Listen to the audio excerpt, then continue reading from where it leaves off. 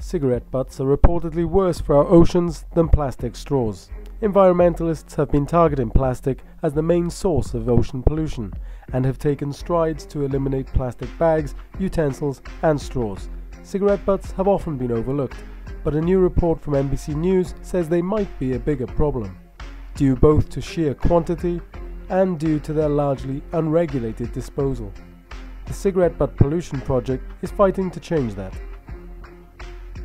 The campaign wants to ban cigarette filters, which are made from a type of plastic that can take more than a decade to decompose.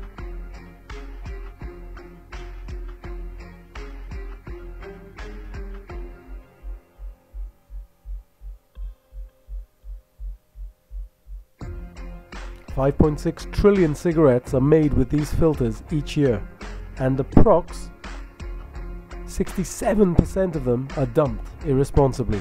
Tobacco companies have reportedly looked into alternatives like biodegradable filters and portable ashtrays, but nothing has come to fruition.